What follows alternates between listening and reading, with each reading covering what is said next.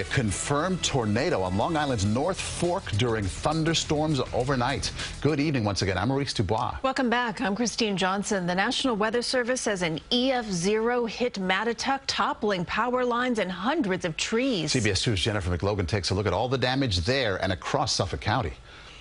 Oh my God, what happened here? This is crazy. Cindy Piccini and her West Islip community are recovering. Our bedroom was right there, and at 10:30 we heard this whirring sound. It sounded like a jet engine or a train going by for about 15 seconds, and then an explosion. Rick and Regina Jacoby and neighbors plunged into darkness. Power lines toppled in a microburst from the sky. Oh, the wires are live. We had um, that's the biggest concern. The wire, everything ripped off from the house. From West Islip to Mattituck, violent thunderstorms barreled through Suffolk County just before midnight. Like a train was coming through.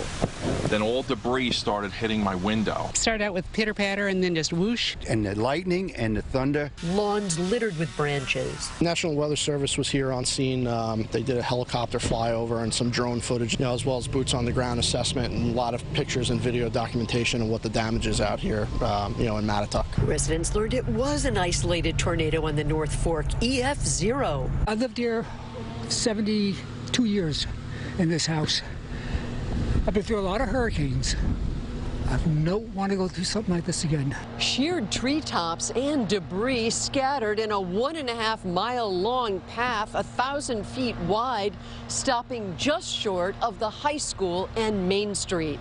The tiny downtown escaped with no damage, but just blocks away. I heard this tremendous crash came out. Nancy Burt ran out her front door to see a massive oak careen through her roof. Unaware a heavy limb had plunged through her ceiling near where she lay sleeping. My husband passed away like four months ago, and I swear I got this.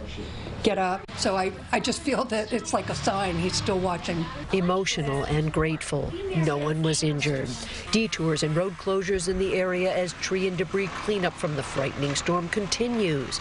In Suffolk County, Long Island, Jennifer McLogan, CBS 2 News.